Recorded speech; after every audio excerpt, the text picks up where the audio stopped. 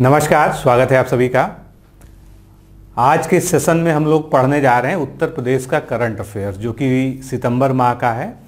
और इसमें हम लोग जो है उत्तर प्रदेश के लगभग 70 ऐसे महत्वपूर्ण तथ्य जो समसामयिक विषयों से जुड़े हुए हैं, उसको पढ़ेंगे। और साथ में ही हम ये भी देखते चलेंगे कि किस तथ्य से, यानी किस जो है न्यूज़ से, कौन से फैक्ट ऐसे उसमें दिए हुए हैं जो आपके एग्ज़ाम में डायरेक्टली पूछे जा सकते हैं। क्योंकि जब हम करंट अफेयर्स पढ़ते हैं तो हम निश्चित रूप से जो है काफ़ी लेंदी होता है, कोई भी टॉपिक हमारे सामने आ जाता है।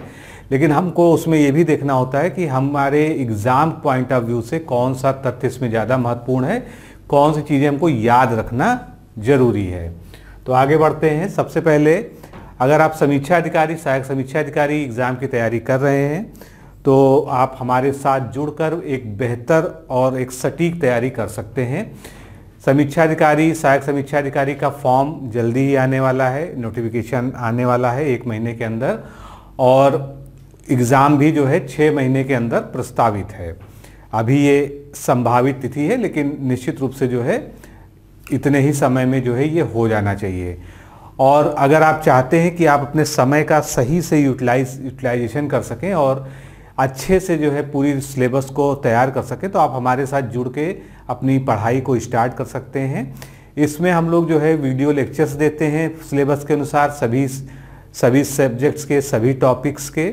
साथ में हम आपको पीडीएफ में नोट्स प्रोवाइड कराते हैं, बिल्कुल कॉम्प्रिहेंसिव नोट्स जो, जिसके बाद आपको नोट्स से नोट्स बनाने की ज़रूरत नहीं है। वो अपने आप में जो है, ऐसा स्टडी मटेरियल है, ऐसा कंटेंट है जो अपने आप में परिपूर्ण है और उसको पढ़ के ही आप जो है एग्ज़ाम में अच्छे से अच्छे मार्क्स ला सकते हैं। और उसके अलावा टेस्ट सीरीज़ और साथ में जो है टेलीग्राम ग्रुप के माध्यम से गाइडेंस और रेगुलर वहाँ पर टेस्ट वगैरह चलते रहते हैं। तो ये सब चीज़ें आपको जो है कोर्स में मिलती हैं। बाकी आपके मन में और भी चीज़ें होंगी इसके बारे में जानने के लिए। तो आप जो है हमारे WhatsApp number nine five zero six seven four two five four six पर जो है R O R O foundation course लिखकर भेज दीजिए। प्रीलिम्स मेंस दोनों की साथ में तैयारी आप कर सकते हैं, प्री की अलग भी कर सकते हैं, मेंस की अलग भी कर सकते हैं, सारे ऑप्शंस आपके सामने हैं। बाकी सारी जानकारी आपको व्हाट्सएप के माध्यम से ही मिल जाएगी।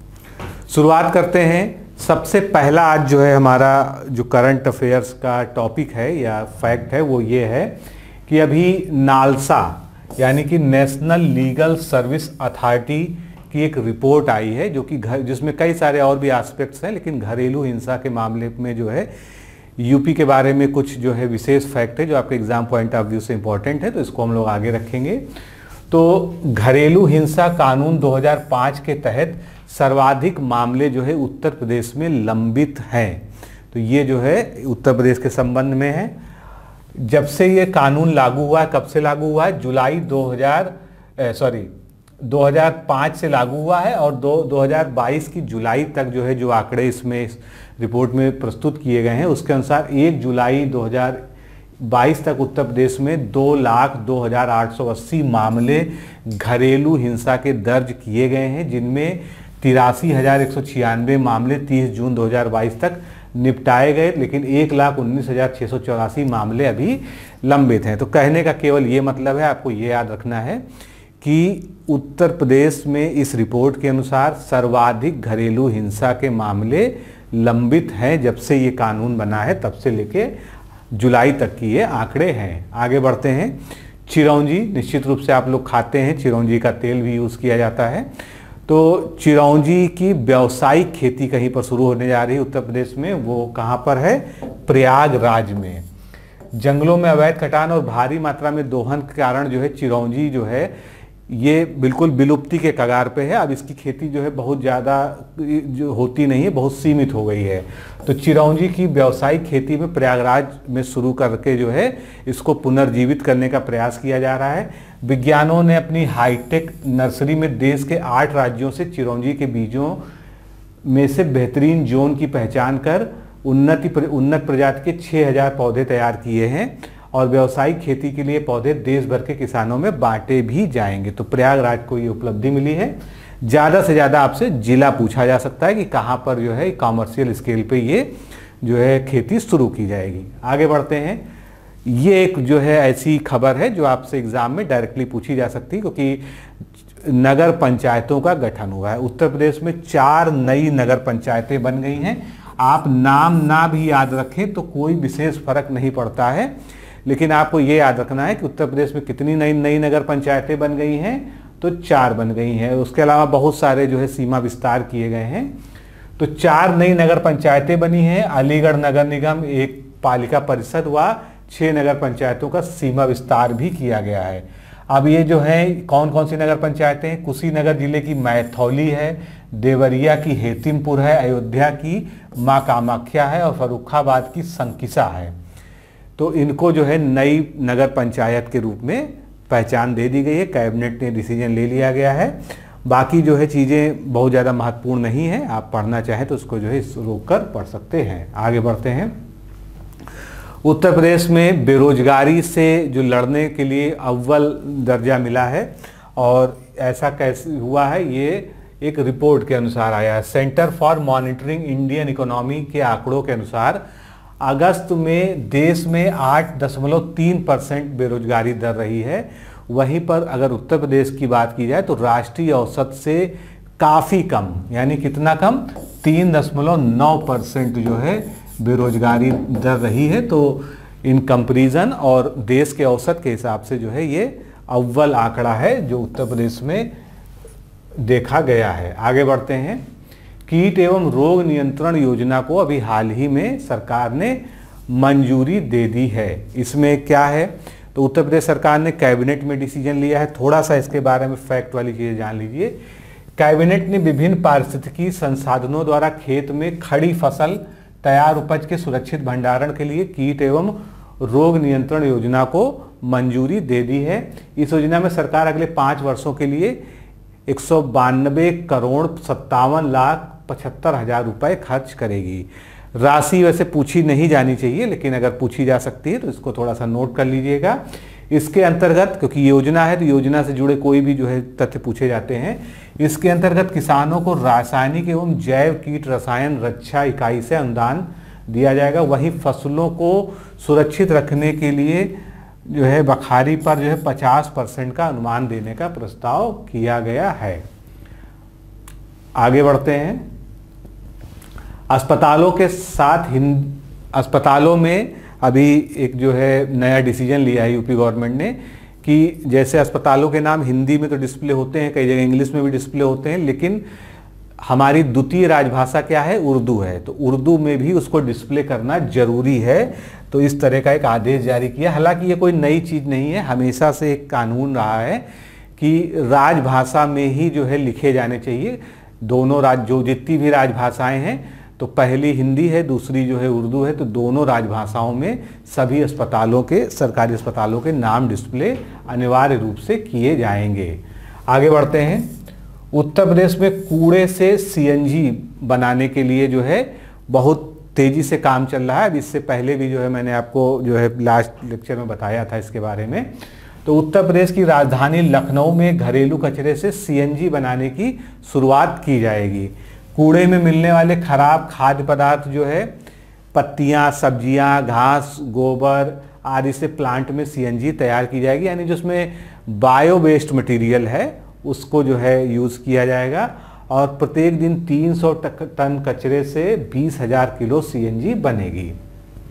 आगे बढ़ते हैं। ड्रोन तकनीकी पे भी उत्तर प्रदेश में काम चल रहा है, जिसमें आईआईटी कानपुर जो है अपनी एक अग्रणी भूमिका निभा रहा है। और एक तरह से वो ड्रोन का प्रशिक्षण केंद्र भी जो है आईआईटी कानपुर के द्वारा स्थापित किया गया है। तो उसी को लेके जो है प्रदेश के युवाओं को इसकी, स्किल अब इंडस्ट्री की मौजूदा डिमांड के अनुसार विकसित की जाएगी। प्रदेश सरकार विभिन्न पॉलिटेक्निक और आईटीआई संस्थानों में शिक्षा ग्रहण कर रहे युवकों को प्रशिक्षण निदेशालय की ओर से चलाए जा रहे डुअल सिस्टम ऑफ़ ट्रेनिंग के तहत ट्रेनिंग दिला रही है। इसमें क्या क्या शामिल है डुअल सिस्टम में? तो डुअल सिस्टम ऑफ़ ट्रेनिंग में एविएशन और ड्रोन टेक्नोलॉजी को भी इंडस्ट्रियल ट्रेनिंग में शामिल किया गया है। क्योंकि आगे चलकर जो है ड्रोन टेक्नोलॉजी जो है, ये एक बड़ी प्रौद्योगिकी के रूप में उभर के आ रही है। इससे बहुत सारी जो है चीज़ें हो सकेंगी। जैसे आप सुनते रहते होंगे कि जो है ड्रोन से जो है दवाओं की डिलीवरी भी हो रही है। कोरोना काल में भी एक्सपेरिमेंट हुआ, राशन तक भी पहुँचाया गया पिज़्ज़ा डिलीवरी कई शहरों में आपने सुना होगा। तो ड्रोन टेक्नोलॉजी एक भविष्य की टेक्नोलॉजी है और इससे जो है, निगरानी तंत्र तो हमारा मज़बूत होगा ही, लेकिन इससे डिलीवरी सिस्टम जो है, ये भी जो है हमारा स्ट्रांग होगा। आगे बढ़ते हैं। जिस प्रकार से देश में जो है योजना आयोग को हटा के नीति आयोग बनाया गया है, उसी तरह से उत्तर प्रदेश अपना स्वयं का नीति आयोग बनाएगा। ये घोषणा कर दी गई है और ये की इसलिए गई है क्योंकि जो 2027 तक जो है उत्तर प्रदेश को जो है वन ट्रिलियन इकोनॉमी बनाने की जो है प्रयास चल रहा है 2027 का लक्ष्य रखा गया है।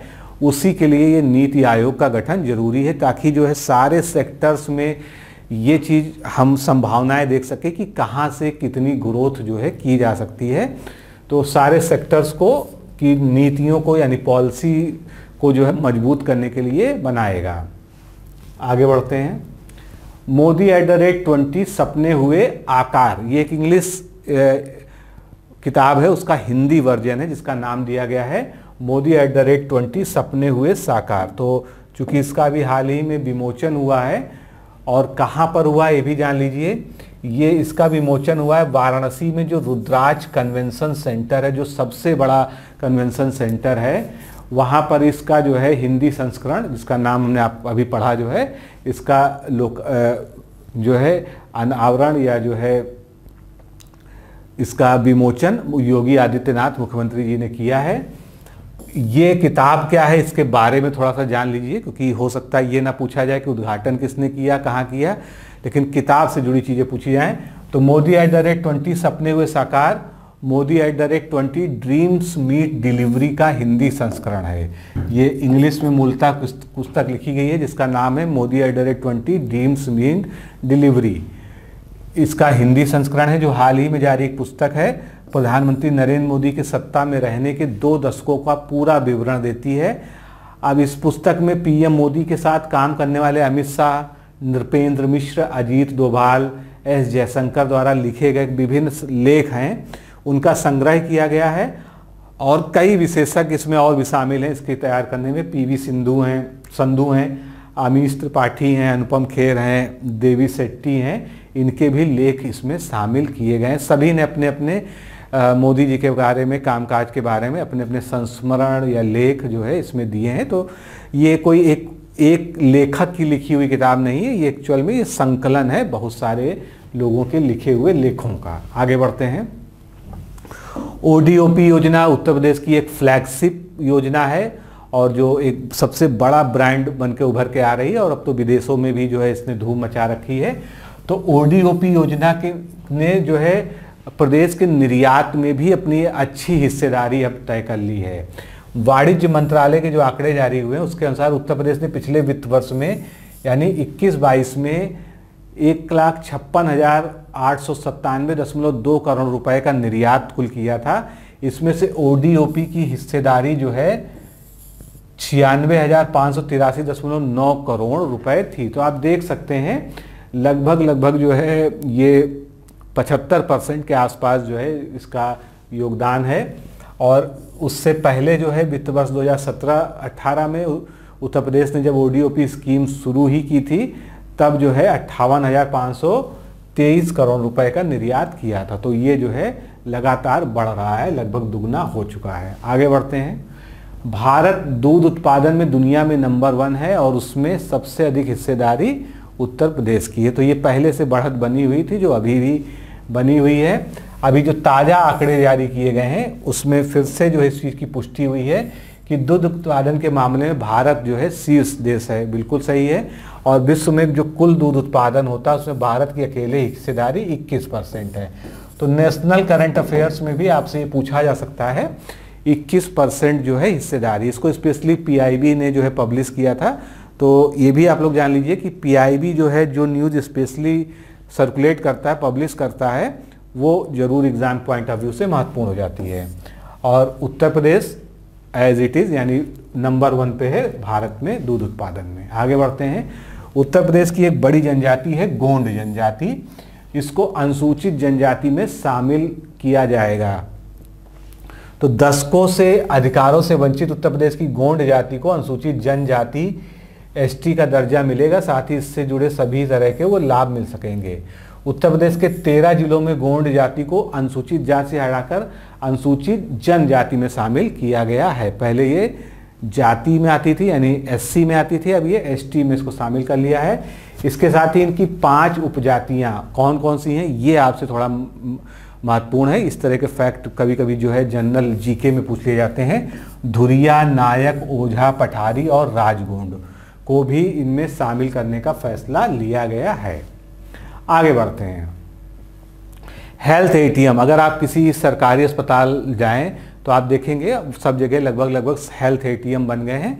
और वहाँ पर बड़ी अच्छी सुविधा है, आप वहाँ पर जाइए जो है, अपना रजिस्ट्रेशन कराइए। आपका blood test BP test ECG और भी कई सारे टेस्ट हैं, वो सब 15 मिनट के अंदर जो है वहाँ पर सबको हो जाता है। तो बहुत अच्छी सुविधा है इसको इसीलिए नाम दिया हेल्थ एटीएम। एटीएम का मतलब ही होता है कि आप जो है तुरंत कोई काम जहाँ पर कर पाएँ, क्योंकि ये सब जाँचें वैसे भी सरकारी अस्पतालों में होती हैं, निःशुल्क होती हैं, लेकिन ये डेडिकेटेड प्लेस बना दिया गया है कि आप उसमें जाएँगे तो आपकी जो है सारी जाँचें जो है जल्दी से जल्दी हो जाएँगी। तो इसकी शुरुआत की गई है गोरखपुर से। यही सबसे महत्वपूर्ण है। आपसे पूछा जा सकता है कि उत्तर प्रदेश का पहला हेल्थ एटीएम कहाँ पर प्रारंभ हुआ? तो ये गोरखपुर में शुरू हुआ। अब ये मशीन तीन से पाँच मिनट में, ध्यान रखिएगा, तीन से पाँच मिनट में 59 यानी उनसठ तरह की जाँच करेगी और इसकी रिपोर्ट भी दे देगी, सारी जांचें इसमें निःशुल्क हैं। अगले तीन महीने के भीतर प्रदेश के सभी छियालीस सौ स्वास्थ्य केंद्रों पर हेल्थ एटीएम का जो है लगा दिए जाएँगे। अब कौन कौन सी जांचें हैं? यहाँ पर ऑक्सीजन है, हीमोग्लोबिन की जाँच है लिपिड प्रोफ़ाइल है, dengue, malaria, chikungunya H I V T L C D L C ये सब यहाँ पर विवरण दिया हुआ है, बहुत ज़्यादा डिटेल में जाने की आवश्यकता नहीं है, आगे बढ़ते हैं। उत्तर प्रदेश में टाउनशिप के लिए 100 फ़ीसदी एफडीआई को मंजूरी तो ये भी एक अच्छा कदम है। उत्तर प्रदेश में निवेश बढ़ाने के लिए, अब यहाँ पर टाउनशिप के लिए अगर कोई कंपनी या कोई प्रोजेक्ट शुरू करना चाहता है बाहर का व्यक्ति तो 100 परसेंट एफ़ उसमें मंजूरी दे दी गई है। एफडीआई आप जानते ही हैं, फॉरेन डायरेक्ट इन्वेस्टमेंट, यानी प्रत्यक्ष विदेशी निवेश की अनुमति मिल गई है। इसके अलावा एक और छूट दे दी गई है कि राज्य सरकार द्वारा प्रस्तावित नई टाउनशिप नीति के तहत लाइसेंस लेने के बाद ज़मीन खरीदने वाले जो डेवलपर्स होंगे उनको स्टाम्प ड्यूटी में भी 50 परसेंट का जो है छूट दी जाएगी। आगे बढ़ते हैं। उत्तर प्रदेश में जो हेल्थ फैसिलिटीज़ हैं, इनकी जियो टैगिंग शुरू होगी। जियो टैगिंग आजकल प्रचलन में है, जिससे कोई भी इसको जो है मैप में आसानी से ढूंढ लेता है। तो ये जियो टैगिंग शुरू होगी और इसके लिए जो है शुरुआत कौन कर रहा है? Uttar Pradesh state medical faculty जो उत्तर प्रदेश की जो है एक ऐसी सरकारी संस्था है जो सारे पैरामेडिकल कोर्सेज का संचालन करने के लिए उत्तरदायी होती है। तो ये सभी पैरामेडिकल संस्थानों से जुड़े स्वास्थ्य सुविधाओं की जियो टैगिंग कराएगा। करीब 1200 पैरामेडिकल संस्थान के अस्पतालों में मानक के अनुसार सुविधाएँ दी जा रही हैं या नहीं दी जा रही हैं, इसका भी पता आसानी से चल सकेगा। आगे बढ़ते हैं। ग्राम पर्यटन के लिए ज़िले चिन्हित कर लिए गए हैं। और पहले राउंड में कितने ज़िले चिन्हित कर लिए गए हैं? बस यही आपको याद रखना है, कितने? 18 जैसे अर्बन पर्यटन होता है, मान लीजिए आगरा का ताजमहल है, फतेहपुर सीकरी है तो ये सब तो जो है मॉन्यूमेंट्स हैं।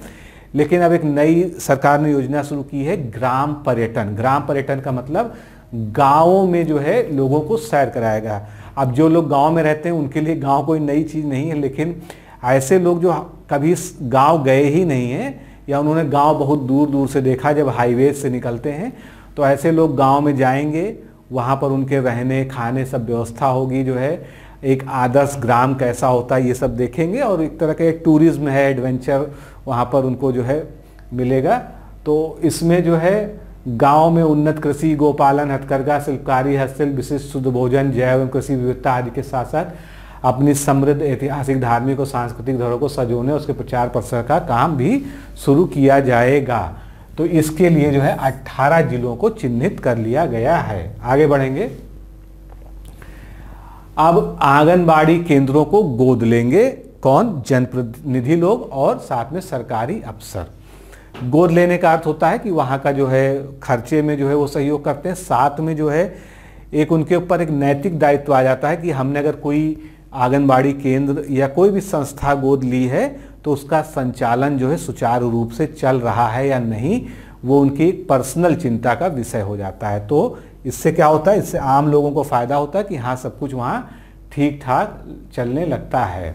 तो इसमें कुछ बहुत खास नहीं है, एक दो कार्यक्रम है जिनके बारे में आपका ध्यान आकर्षित करना चाहूँगा कि आंगनबाड़ी केंद्रों की गुणवत्ता सुधार के लिए छः वर्ष तक की आयु के बच्चों के लिए दुलार कार्यक्रम शुरू किया गया। आपसे पूछा जा सकता है कि दुलार कार्यक्रम क्या है? तो आपको बताना होगा कि छः वर्षों तक छः वर्ष तक के बच्चों के लिए आंगनबाड़ी का ये विशेष कार्यक्रम है, जिसको दुलार कार्यक्रम कहते हैं। इसके अलावा जो है, मुख्यमंत्री ने सहयोग और बाल पिटारा ऐप का भी शुभारंभ किया गया है। ये भी महत्वपूर्ण हो सकते हैं। सहयोग ऐप में क्या है? इसके माध्यम से आंगनबाड़ी कार्यक्रम की निगरानी की जा सकेगी और बाल पिटारा ऐप में तीन से छः वर्ष तक की आयु के बच्चों की परवरिश की जानकारी के साथ ही ई वर्स ई बुक्स ऑडियो एवं वीडियो भी दिया जाएगा। आगे बढ़ते हैं। टीम नाइन की तरह ग्लोबल इन्वेस्टर समिट कराएगी नौ समितियाँ। तो टीम नाइन किस लिए बनी थी? टीम नाइन जो है बनी थी कोरोना के समय में उसको कंट्रोल करने के लिए। तो उसी तरह से जो है और नौ समितियाँ अलग अलग बनाई जाएँगी, जो फरवरी में प्रस्तावित इंटरनेशनल ग्लोबल समिति को जो है आयोजित करेगी, उसकी निगरानी करेगी। तो प्रदेश सरकार द्वारा प्रदेश में 10 लाख करोड़ रुपए का निवेश लाने का लक्ष्य रखा गया है। ध्यान रखिएगा, ये पूछा जा सकता है आपसे। कि कितने लाख करोड़ रुपए का लक्ष्य रखा गया है निवेश में। तो 10 लाख करोड़ रुपए का निवेश रखा गया है। इसके लिए ग्लोबल इन्वेस्टर समिट के लिए टीम नाइन की तर्ज पर नौ समितियाँ, यानी नौ कमिटीज बनाई जाएगी और मार्गदर्शन समिति के अध्यक्ष स्वयं जो है मुख्यमंत्री होंगे व कार्यकारी समिति के अध्यक्ष जो है मुख्य सचिव होंगे। सात और नगरीय निकायों का गठन हो गया है। ये भी जो है कैबिनेट ने भी डिसीज़न लिया है। तो प्रदेश सरकार ने एक नगर पालिका परिषद और छह नई नगर पंचायतों के गठन का निर्णय लिया गया है। लेकिन अभी ये सब चीज़ें जो है, ऑफिशियल वेबसाइट पर अपडेट नहीं हुई हैं। आगे जल्दी हो जाएँगी। तो इसके साथ ही प्रदेश में अब कुल सात सौ बासठ नगरीय निकाय हो गए हैं। अर्बन बॉडीज हो गई हैं। आजमगढ़ की नगर पंचायत बिलदियागंज की सीमा में छाछठ ग्रामों को जोड़ते हुए उसे तृतीय श्रेणी की नगर पालिका परिषद के रूप में उच्चीकृत किया गया है। तो नगर पालिका परिषद जो है, एक जो है बड़ी बॉडी होती है तो याद रखिएगा, ये जो है आजमगढ़ की है। इसके अलावा बाकी और भी चीज़ें दी हुई हैं कि कहाँ कहाँ पर जो है पंचायतों का गठन हुआ है तो वो जो है इतना ज़्यादा यहाँ पर महत्वपूर्ण नहीं है आपके लिए। सरसों की तीन प्रजातियों के बीज निशुल्क जो है सरकार के द्वारा बांटे जाएँगे। मकसद क्या है? मकसद वही है कि इन प्रजातियों की जो है खेती ज़्यादा से ज़्यादा की जाए और तिलहन का उत्पादन उत्तर प्रदेश में जो है बढ़ाया जा सके। तो उसके लिए निशुल्क बीज वितरण किया जाएगा और इस बार जो है तिलहन के समय जो है कम, मानसून भी कमज़ोर रहा है। तो उसके लिए चार सौ सत्तावन दशमलव छः ज़ीरो लाख रुपए भी स्वीकृत किए गए हैं। प्रदेश सरकार द्वारा अल्पकालीन व सामान्य सरसों सहित रागी के बीजों के मिनी किट निशुल्क भी बांटने का निर्णय लिया गया है। आगे बढ़ेंगे। उत्तर प्रदेश का पहला डिजिटल विभाग, ये बहुत संभावित प्रश्न है तो आपको बताना होगा इसका उत्तर क्या है। अभियोजन विभाग। अभियोजन विभाग जो है उत्तर प्रदेश का पहला डिजिटल विभाग है जहाँ पर सारा कामकाज जो है अब डिजिटलाइज हो गया है, कंप्यूटरीकृत हो गया है। और ई प्रोसिक्यूशन पोर्टल पर उत्तर प्रदेश देश में पहले ई प्रोसिक्यूशन पोर्टल क्या है? मैंने पहले के लेक्चर्स में बताया भी है इसको। ई प्रोसिक्यूशन पोर्टल वो है जहाँ पर जितने भी अभियोजन हैं, जितने भी मुकदमे चल रहे हैं उनकी जानकारी जो है कंप्यूटर में दर्ज कर दी है। कोई भी जो है अब ऑनलाइन उसको सर्च करके देख सकता है। तो इसको क्रियान्वयन के मामले में उत्तर प्रदेश का पहला स्थान है और उत्तर प्रदेश को पुरस्कार भी इसमें दिया जा चुका है। आगे बढ़ते हैं। उत्तर प्रदेश के पाँच जिलों को पीने के लिए गंगा जल की आपूर्ति की जाएगी। गंगा जल की आपूर्ति का मतलब है कि गंगा कैनाल से गंगा नदी का पानी वहाँ पर भेजा जाएगा। तो ये पाँच ज़िले कौन से हैं? फिरोजाबाद, आगरा, मथुरा, बलिया और उन्नाव। इनको जल शक्ति मिशन के अंतर्गत आने वाले दिनों में पेयजल के रूप में गंगा जल उपलब्ध कराया जाएगा। पाँच जिलों में से तीन जनपदों, जिनमें से आगरा, मथुरा और फिरोजाबाद है। इनमें निर्बाध पेयजल आपूर्ति के लिए दोहरी व्यवस्था की जा रही है। इन जिलों में अपर और लोअर गंगा कैनाल से गंगा जल की सप्लाई की जाएगी, जबकि उन्नाव और बलिया के गंगा किनारे के बसे होने के कारण यहाँ इंटेक वैल बनाकर सीधे गंगा जल की आपूर्ति की व्यवस्था रहेगी। आगे बढ़ेंगे। 1.21 लाख को एक दिन में नल कनेक्शन तो ये जो है, कब हुआ है? 17 सितंबर को। प्रदेश सरकार ने रिकॉर्ड स्थापित किया है कि एक ही दिन में एक दशमलव इक्कीस लाख लोगों को पेयजल घरों में पेयजल की आपूर्ति की है। तो 17 सितंबर को हर घर नल योजना के तहत एक दिन में बीस हज़ार आठ सौ इक्कीस ग्रामीण घरों को नल कनेक्शन प्रदान किया गया और ये जो है कब किया गया? प्रधानमंत्री नरेंद्र मोदी के जन्मदिन के अवसर पर। आगे बढ़ते हैं। मुख्यमंत्री एडवेंचर कार्यक्रम उत्तर प्रदेश में शुरू किया जाएगा। तो मुख्यमंत्री एडवेंचर अवार्ड, सॉरी, कार्यक्रम नहीं, अवार्ड। अवार्ड जो है, यानी पुरस्कार दिया जाएगा। तो जैसे केंद्र सरकार एक अवार्ड देती है, जिसका नाम है तेंजिंग नोर्गे, एक पर्वतारोही हैं। इनके नाम पर यह अवार्ड शुरू किया गया था। उसी की तर्ज पर मुख्यमंत्री एडवेंचर अवार्ड दिया जाएगा। इस अवार्ड के तहत जल, थल और नभ में साहसिक कार्य करने वाले व्यक्तियों को पाँच लाख रुपए की धनराशि और प्रशस्ति पत्र देकर सम्मानित किया जाएगा। तो आपसे धनराशि भी पूछी जा सकती है कि इसकी धनराशि क्या होगी।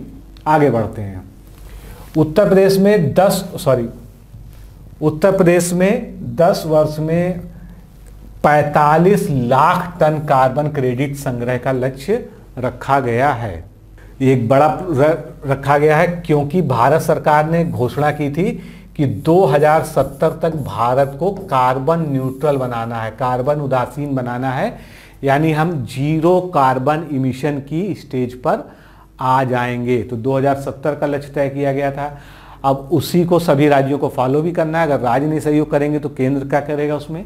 तो इस लक्ष्य की प्राप्ति के लिए उत्तर प्रदेश ने अपनी भूमिका को निभाते हुए अगले 10 वर्षों में 45 लाख टन कार्बन क्रेडिट संग्रह का लक्ष्य रखा है। और इसी कारण जो है, हर साल 35 करोड़ पौधारोपण का भी लक्ष्य जो है, उत्तर प्रदेश में चल रहा है। आगे बढ़ते हैं। चौसठ साल के बाद उत्तर प्रदेश विधानसभा में कई पुराने नियमों को बदला गया। तो अभी जो है, कुछ ऐसे गैर ज़रूरी नियम थे। पहले इसकी नियमावली समझ लीजिए। विधानसभा की प्रक्रिया तथा कार्य संचालन नियमावली 1958 अभी तक लागू है। इसमें बहुत सारे ऐसे नियम हैं जो अनुपयोगी हो गए हैं। अब हम लोग एक एक नियम पे यहाँ पर चर्चा नहीं कर पाएँगे। तो कुछ को संशोधित भी किया गया था। अब जैसे इसमें एक दो जो है मैं हाईलाइट वाली बातें आपको बता दूँ कि अब तक विधानसभा सत्र के दौरान एक दिन में अधिकतम दस तारांकित प्रश्न ही पूछे जाते थे। तारांकित प्रश्न आप जानते हैं कि उसमें संबंधित मंत्री को खड़े होकर जवाब देना पड़ता है, उसका, उसको बताना पड़ता है। अब इससे बजट सत्र में सतीश महाना जो है, जो विधानसभा अध्यक्ष हैं, उन्होंने बदल दिया। अब 20-20 तारांकित प्रश्न तक लिए जाएँगे ताकि अधिक से अधिक विधायक अपने क्षेत्र की समस्याओं को उठा सकें। इसके अलावा सदन के अंदर सभी दलों के सदस्यों के जन्मदिन को मनाने की नई परंपरा शुरू की गई है। हालाँकि मृत्यु पे शोक तो होता आया है, लेकिन अब जन्मदिन की भी परंपरा शुरू होती है। विधायकों को सदन छोड़कर कैंटीन में चाय, कॉफ़ी के लिए ना जाना पड़े। इसके लिए विधानसभा मंडप के बाहर ही जो है, एक लॉबी बनाई जा रही है, जहाँ पर वो चाय नाश्ता कर सकेंगे।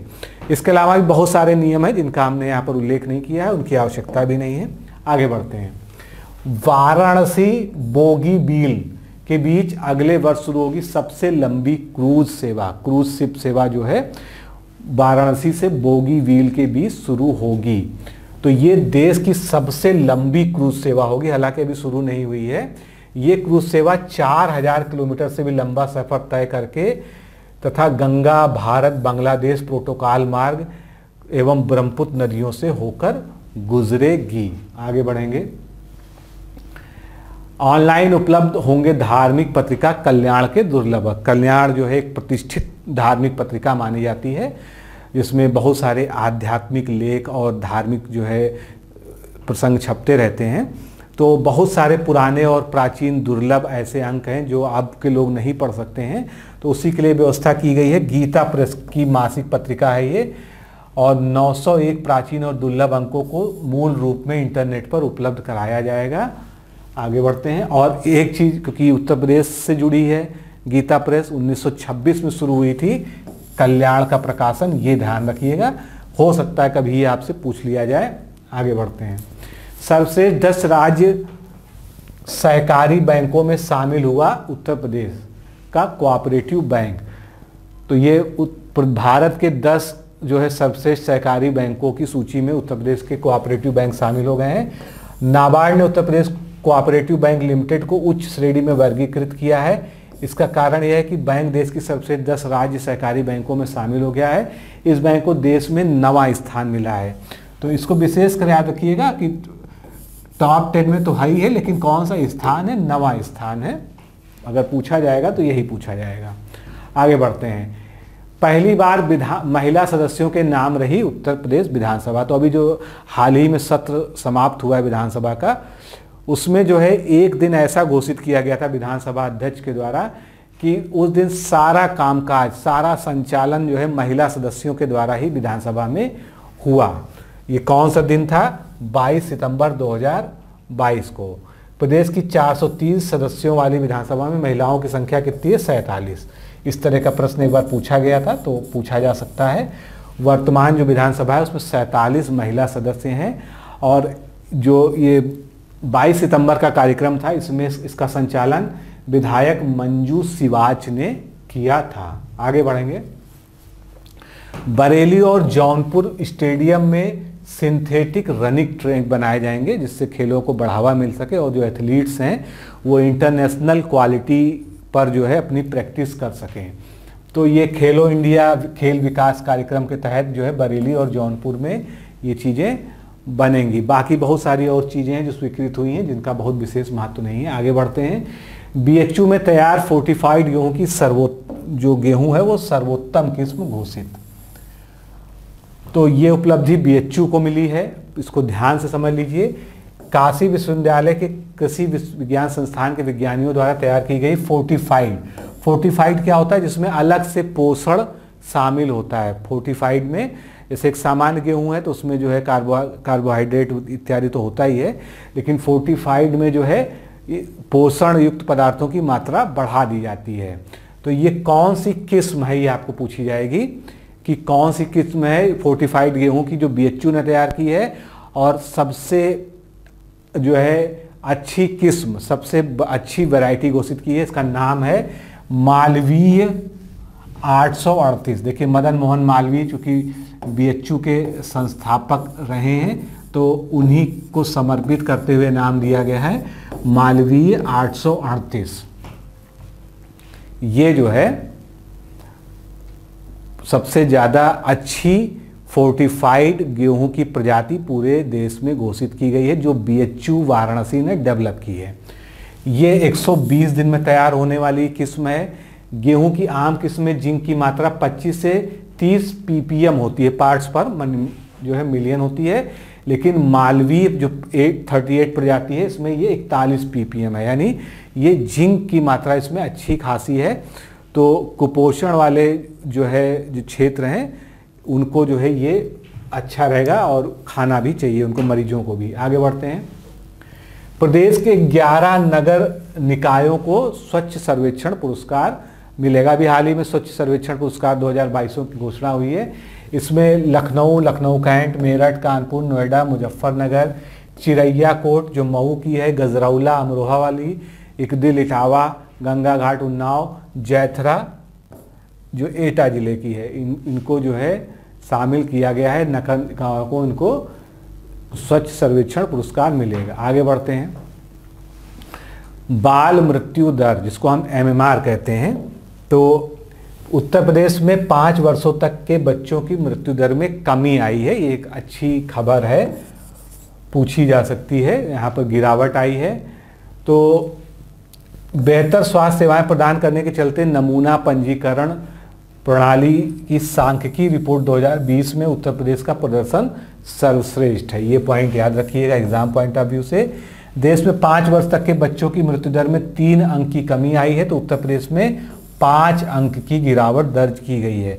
उत्तर प्रदेश में एक साल से कम बच्चों की मृत्यु दर में तीन अंक और 28 दिन तक के बच्चों की मृत्यु दर में दो अंक की कमी आई है।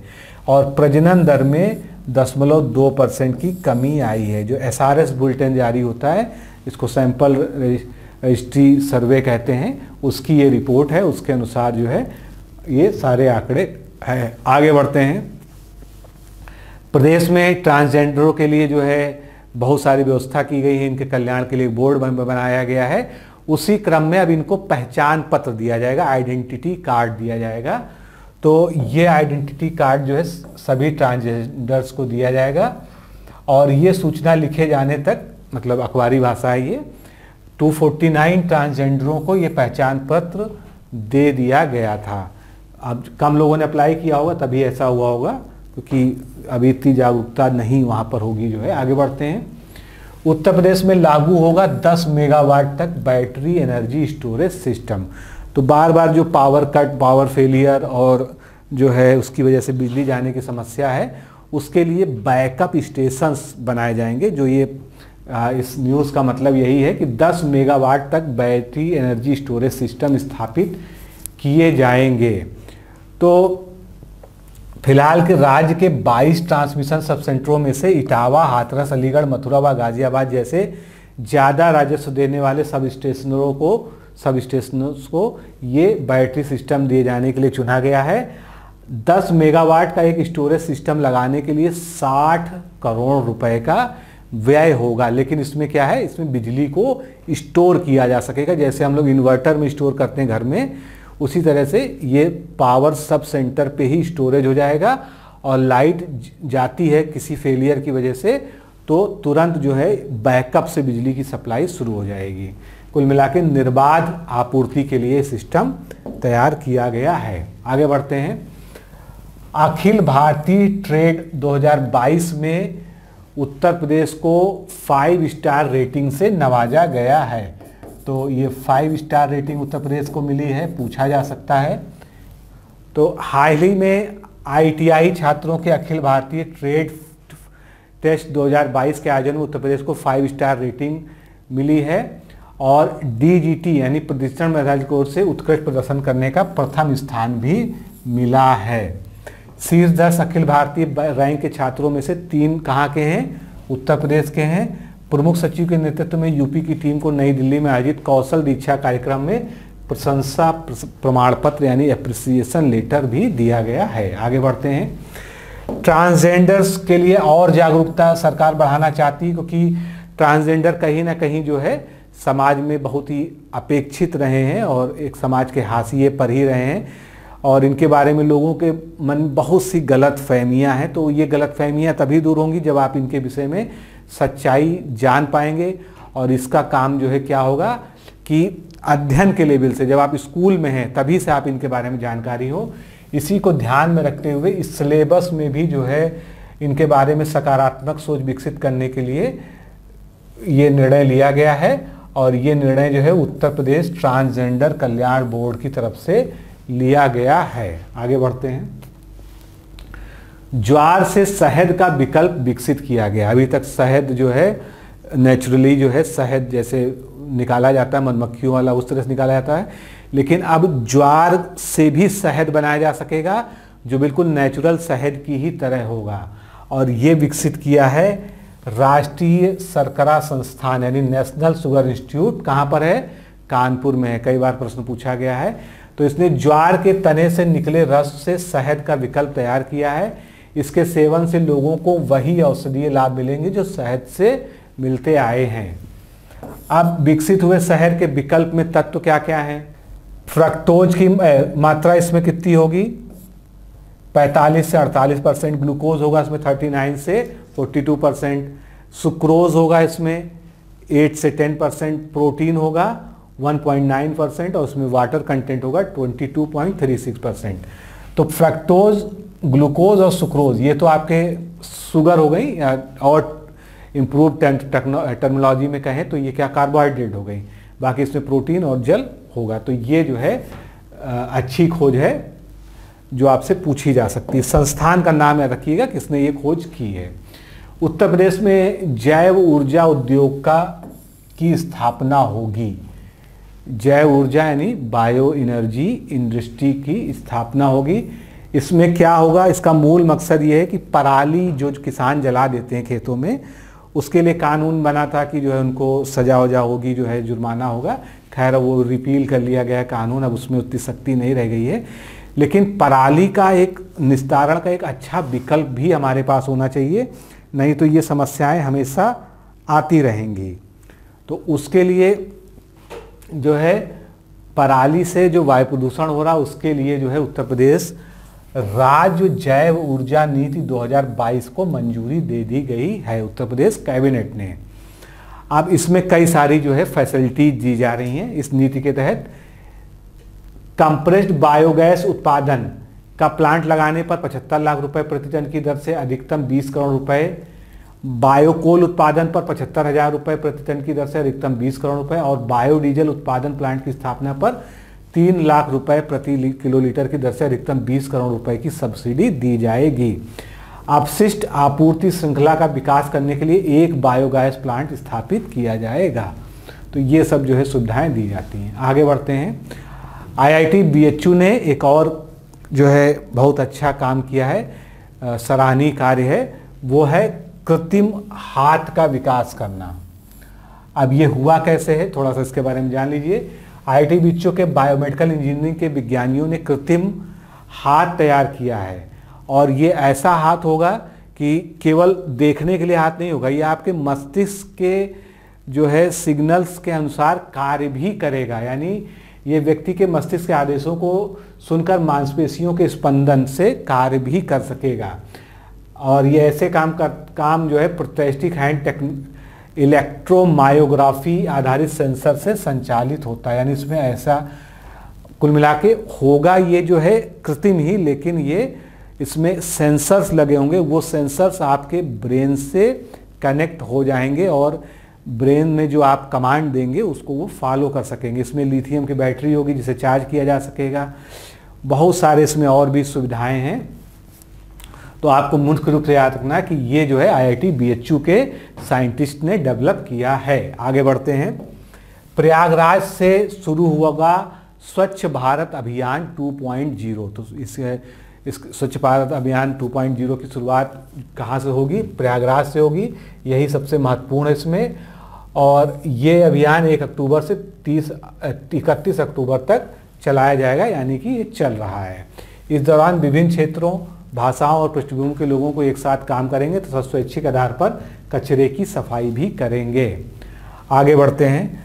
राज्य योजना आयोग का पुनर्गठन अब स्टेट ट्रांसफॉर्मेशन कमीशन में, यानी वही जो नीति आयोग, हमने इस खबर को भी जो है ऊपर ले लिया है। तो नीति आयोग उत्तर प्रदेश स्वयं का बनाएगा। जिस तरह से केंद्र में नीति आयोग है, उसी तरह से ये बनाएगा। आगे बढ़ते हैं। उत्तर प्रदेश में जैव ऊर्जा इकाइयों को एक रुपए में ज़मीन और 20 करोड़ का अनुदान दिया जाएगा। इससे संबंधित जो है, हमने भी फैक्ट पीछे भी देखा है। तो जो उत्तर प्रदेश में राज्य जैविक ऊर्जा नीति आई है, उसके तहत प्रति एक करोड़ के टोकन लीज रेंट पर आधारित एकदम तीस वर्षों के लिए ज़मीन उपलब्ध कराई जाएगी। साथ ही एक करोड़ सॉरी एक इकाई को 20 करोड़ रुपए तक का अनुदान या सब्सिडी दी जाएगी। आगे बढ़ते हैं। बाबतपुर एयरपोर्ट। बाबतपुर एयरपोर्ट कहाँ पर है? वाराणसी में इसका नया नाम क्या है? लाल बहादुर शास्त्री एयरपोर्ट। ये जो है ऐसा एयरपोर्ट है जो 5G सेवा प्रदान करने वाला पहला एयरपोर्ट है प्रदेश का। तो इस तरह के प्रश्न, पहला प्रथम अग्रणी वाले प्रश्न हमेशा ज़्यादा पूछे जाते हैं। तो 5G सेवा प्रदान करने वाला देश का ये पहला एयरपोर्ट है। और इसका जो है शुभारंभ अभी हुआ है जब प्रधानमंत्री द्वारा जो है पूरे देश में 5G सेवाओं को शुरुआत की गई है। उसके बाद ही जो है यहाँ पर भी जो है इसका 5G सेवा शुरू हो गई है। आगे बढ़ते हैं। अयोध्या में लता मंगेशकर चौक का लोकार्पण हुआ। लता मंगेशकर जी के सम्मान में जो है अयोध्या में एक जो है चौराहा है, एक चौक है। उसका लोकार्पण किया गया है और कार्यक्रम में प्रधानमंत्री नरेंद्र मोदी ने वीडियो संदेश देकर अयोध्या वासियों को बधाई दी है। ये कहाँ पर है? रामनगरी में जो नया घाट बंधा चौराहा है, इसी का नाम अब बदल कर लता मंगेशकर चौराहा कर दिया गया है और इसको बहुत खूबसूरत बनाया गया है। गोल चौक है ये और यहाँ पर जो है, प्रतीक स्वरूप जो है, बड़ी सी एक वीणा लगाई गई है और और यहाँ पर दूसरी चीज़ क्या है? वीणा का संगीत लगातार बजता ही रहेगा तो ये जो है एक अच्छा वो है। अब इस चौक में क्या क्या मतलब खासियत है? थोड़ा सा पढ़ लीजिए, हो सकता है कोई अंदर से क्वेश्चन आ जाए। तो लगभग आठ करोड़ रुपए से निर्माण हुआ है, ये कोई विशेष बात नहीं है। लता मंगेशकर के जो गीत हैं, वो इस, इसमें, उनकी स्मृति में चौराहे पे गूंजेंगे। माँ शारदा की वीणा सुर सामग्री चौक की पहचान होगी। वीणा की लंबाई ये बहुत महत्वपूर्ण है क्योंकि ये सबसे बड़ी बीड़ा है। 10.8 मीटर और ऊंचाई 12 मीटर है। 14 टन बजनी वीणा को बनाने में 70 लोग लगे हैं। कांसा व स्टेनलेस स्टील के प्रयोग के द्वारा एक महीने में बनी है। इसको बनाया किसने है? पद्म पुरस्कार विजेता राम सुतार, जिन्होंने स्टेच्यू ऑफ़ लिबर्टी भी बनाई थी। तो उनको पद्म पुरस्कार भी मिला है। राम सुतार ने ये जो वीणा की डिज़ाइन बनाई है और वीणा के साथ साथ अन्य शास्त्रीय वाद्य संगीत भी वाद्य यंत्र भी यहाँ पर प्रदर्शित किए जाएँगे। आगे बढ़ते हैं। अभी हाल ही में एक रिपोर्ट आई है पर्यटन मंत्रालय की तो सॉरी, यूनेस्को की। तो यूनेस्को की विश्व धरोहर सूची में शामिल ताजमहल 2021-22 में घरेलू पर्यटकों के लिए केंद्र द्वारा संरक्षित उन सबसे अधिक लोकप्रिय दस स्थानों में से है, जहाँ प्रवेश के लिए शुल्क लगता है। ध्यान रखिएगा, ये सशुल्क वाली लिस्ट है। मतलब कई ऐसे स्थान है ना पर्यटन जहाँ पर शुल्क नहीं लगता है। तो जहाँ पर शुल्क लगता है, उसमें सबसे ज़्यादा पर्यटक जो है, ताजमहल में गए हैं 21-22 में। आंकड़ों के अनुसार 21-22 में ताजमहल को देखने बत्तीस दशमलव नौ लाख घरेलू पर्यटक शामिल रहे हैं। आगे बढ़ते हैं। उत्तर प्रदेश में व्यापार और कृषि सेक्टर में निवेश करेगा अर्जेंटीना। तो बस यही आपको ध्यान रखना कि कौन सा देश निवेश करेगा, अर्जेंटीना करेगा। किस सेक्टर में करेगा, ये भी आपसे पूछा जा सकता है। तो व्यापार और कृषि सेक्टर में ये निवेश करेगा। आगे बढ़ते हैं। उत्तर प्रदेश पुलिस की अपनी फाइनेंशियल इंटेलिजेंस यूनिट होगी। ये एक नया जो है पुलिसिंग सिस्टम को और मज़बूत करने के लिए फाइनेंशियल इंटेलिजेंस यूनिट भी उत्तर प्रदेश पुलिस के अंदर जो है शामिल होगी, जिससे जो है, जो फाइनेंशियल क्राइम होते हैं, वित्तीय अपराध होते हैं, उनकी जो है जाँच को और प्रभावी बनाया जा सके। आगे बढ़ेंगे। खेल गतिविधियों को प्रोत्साहन देने के लिए सरकार ने कुछ नई चीज़ें शुरू की हैं। तो राष्ट्रीय खेल के खिलाड़ियों को पुरस्कार राशि अब छः लाख, चार लाख तथा दो लाख रुपए है। ये कर दिया है, बढ़ा दिया है। छत्तीसवें राष्ट्रीय खेल में प्रदेश के खिलाड़ी 28 खेलों में प्रतिभाग करेंगे, जबकि पैंतीसवें राष्ट्रीय खेलों में उन्होंने 20 खेलों में बढ़ाया था। तो आठ खेल भी बढ़ गए तो इस तरह से जो है यूपी में जो है खेलों की भी ग्रोथ की करने का प्रयास हो रहा है। एक और महत्वपूर्ण जो है फैक्ट है, जो आपसे एग्ज़ाम में पूछा जा सकता है, सर्वाधिक फ़िल्म अनुकूल राज्य की श्रेणी में उत्तर प्रदेश को पहला पुरस्कार प्राप्त हुआ है। अभी अड़सठवा नेशनल फ़िल्म फेस्टिवल यानी राष्ट्रीय फ़िल्म समारोह मनाया गया था। उसमें जो है, सर्वाधिक फ़िल्म अनुकूल राज्य की श्रेणी में उत्तर प्रदेश को पहला स्थान मिला है, जो आपको याद रखना है। उत्तर प्रदेश के सभी गाँवों को भी 5G नेटवर्क सेवा से जोड़ा जाएगा। ये डिसीज़न जो है, अभी लिया गया है। कैसे जुड़ेंगे? जो हर गाँव में ग्राम सचिवालय बनाएँगे, वहीं से जो है 245 प्रकार की सेवाएँ जो है दी जा रही ग्रामीणों को तो वहीं से इसकी शुरुआत की गई और 5G की हाई स्पीड से इनकी उपलब्धता में अब तेज़ी आएगी। आगे बढ़ेंगे। उत्तर प्रदेश ने तीन राज्यों से साझा किया पीपीपी मॉडल कौन कौन से राज्य हैं जिनसे जो है उत्तर प्रदेश ने अपना ये मॉडल साझा किया है? बिहार, छत्तीसगढ़ व मध्य प्रदेश। यही जो है इसमें मीन है। इसमें पीपीपी मॉडल पर हमारे यहाँ बहुत सारे निर्माण कार्य हुए हैं। उन्हीं प्रोजेक्ट्स के बारे में जानकारी साझा की गई, जैसे Yamuna expressway, Lucknow Agra expressway, Purvanchal expressway, Bundelkhand expressway, Ballia link expressway तथा उत्तर प्रदेश का जो अब सबसे बड़ा जो है, जो देश का सबसे बड़ा एक्सप्रेसवे कहलाएगा आगे चल के, वो बनेगा गंगा एक्सप्रेसवे। ये सब पीपीपी मॉडल पर ही बने हैं। आगे बढ़ेंगे। उत्तर प्रदेश में उद्योगों के लिए अगर ज़मीन देने की ज़रूरत पड़ी तो अब एस सी की भी ज़मीन दी जा सकेगी। अभी तक जो कानून है उसके अनुसार जो है एस सी की ज़मीन केवल एस सी को ही ट्रांसफ़र होती थी। विशेष परिस्थितियों में अन्य जात के लोग भी ले सकते थे। लेकिन अब कहीं कहीं ऐसी समस्याएँ फंस जाती हैं कि वहाँ पर जो है उद्योग के लिए बहुत अनुकूल दशाएँ हैं। ऐसे में अगर वो ज़मीन किसी एस सी कैटेगरी के व्यक्ति की है तो नहीं दी जा सकती थी। तो अब ये कानून में चेंज कर दिया गया है, जो उत्तर प्रदेश की औद्योगिक निवेश एवं रोज़गार प्रोत्साहन नीति 2022 है, उसके अंतर्गत जो है, ये ज़मीन में बेची जा सकेगी और उसके लिए ये प्राविधान उसमें कर दिया गया है। स्टाम शुल्क में भी छूट दी जाएगी, बुंदेलखंड और पूर्वांचल में 100 परसेंट की छूट मिलेगी, मध्यांचल और पश्चिमांचल में 75 परसेंट मिलेगी, गौतम बुद्ध और गाजियाबाद में 50 परसेंट मिलेगी तो ये सब जो है, की जा रही है। बुंदेलखंड और पूर्वांचल में नई औद्योगिक नीति में ज़्यादा ज़ोर दिया गया है। जो नई उद्योग नीति आई है, जो जिसका हमने डिस्कशन किया पीछे जो है, यहाँ पर कई तरह की सब्सिडी दी जा रही है, जिससे ज़्यादा से ज़्यादा इंडस्ट्रियल ग्रोथ ज़्यादा से ज़्यादा एफ़ और निवेश जो है, बुंदेलखंड और पूर्वांचल की तरफ़ जाए, क्योंकि ये दो जो है, उत्तर प्रदेश के काफ़ी पिछड़े क्षेत्रों में पहले गिने जाते थे। आगे बढ़ते हैं। इसी के तहत जो ये चार सेक्टर में, इसी नीति का ही ये पार्ट है, बहुत बड़ी नीति है। तो चार सेक्टर्स में उद्यमियों को बांटा जाएगा। बहुत ज़्यादा इसके बारे में जानने की आवश्यकता नहीं है कौन कौन से उद्योग स्थापित होंगे, सब इसमें आएगा। अब एक महत्वपूर्ण जो है आपको जानकारी, यहाँ पर जो ज़्यादा ज़रूरी है, प्रदेश के कृषि विभाग ने प्रतिबंधित कीटनाशकों की सूची जारी की थी। अब उनके विकल्प जारी किए हैं। कि अगर हम, हमने जिन कीटनाशकों को प्रतिबंधित किया, उसके स्थान पर हम क्या यूज़ कर सकें तो 30 जिलों में प्रतिबंधित किया गया था, जो धान प्रधान है, क्योंकि ये ज़्यादातर धान की खेती में यूज़ किए जा रहे थे, प्रतिबंधित रसायन या पेस्टिसाइड या कीटनाशक ये लिखे हुए हैं। इनके विकल्प यहाँ दिए हुए हैं कि इनके स्थान पर अब किसका प्रयोग किया जा सकता है, और ये किस रोग के लिए यूज़ होते थे वो जो है यहाँ लिखे हुए हैं। तो आप रोग को याद रख सकते हैं, क्योंकि कभी कभी फसपादप रोगों पूछे जाते हैं, वैसे बहुत ज़्यादा ज़रूरी ऐसा नहीं है इसमें। आगे बढ़ते हैं। एक नया एक्सप्रेसवे जो है प्रस्तावित हो रहा है, वो है गाजीपुर बलिया। गाजीपुर बलिया से लेकर ये बिहार की सीमा तक बनेगा, चार लेन का हाईवे, और ये जो है प्रमुख चार शहरों को जोड़ेगा। कौन से? बनारस, लखनऊ, आजमगढ़ और मऊ की आर्थिक गतिविधियों को मज़बूत देने के लिए इसका प्लान तैयार किया जा रहा है। मतलब बनेगा गाजीपुर से बलिया तक, लेकिन यहाँ से इसकी कनेक्टिविटी वहाँ तक जारी रहेगी।